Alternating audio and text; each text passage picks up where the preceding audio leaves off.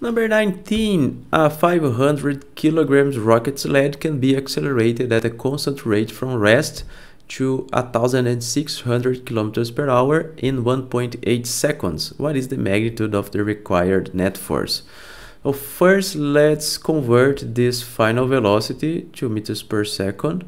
So it is 1600 kilometers per hour. So you have to divide it by 3.6 and then you get 444 meters per second roughly this value over here.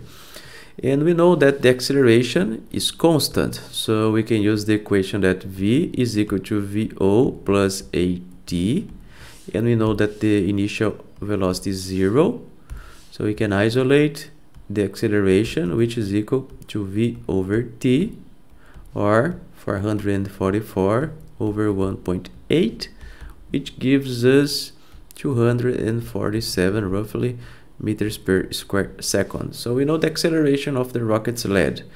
And we know from Newton's second law that the sum of the forces is equal to mass times acceleration. So this is the net force. So you want to find this term over here. So all we have to do is multiply the mass of the rocket sled to its acceleration. So the sum of the forces the or, or the net force is equal to 500 times 247 and this gives us about 1.2 times 10 to the 5 newtons. And this is the answer of exercise 19